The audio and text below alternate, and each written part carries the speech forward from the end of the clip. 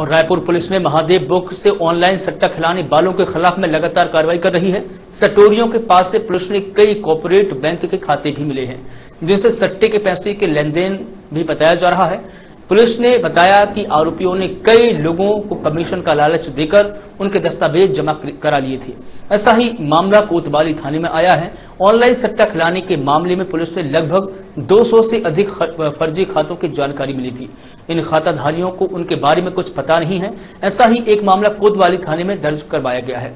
पीड़ित ने बताया कि आरोपियों ने बिना उसके अनुमति के फर्जी तरीके से उसके दस्तावेज़ ले लिए और उसके नाम से खाता खुलवाया। इसकी जानकारी पीड़ित को हुई। तो उसने कोतवाली थाने में धारा 420 के तहत मामला दर्ज करवाया।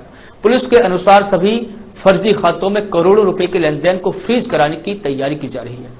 कोतवाली में प्रांतीय उन्होंने एक रिपोर्ट दर्ज कराया कि उनके खातों का जो है महादेव एप्लीकेशन के संचालकों द्वारा दुरुपयोग किया गया जिसमें चार सौ बीस का मामला दर्ज किया गया और उसमें आरोपियों की पता तलाश की है। अभी तक हम लोगों ने महादेव एप्लीकेशन के ऊपर सात कार्रवाइयाँ की हैं, जिसमें लगभग चौहत्तर लोगों की गिरफ्तारी हुई है और उसमें हम लोगों को एक हज़ार से अधिक अकाउंट्स रहे हैं। तो जितने अकाउंट मिले हैं, उन सबको जाँच में लिया गया है और यदि आगे भी कुछ फर्जी अकाउंट की शिकायत मिलेगी तो उसको जाएगा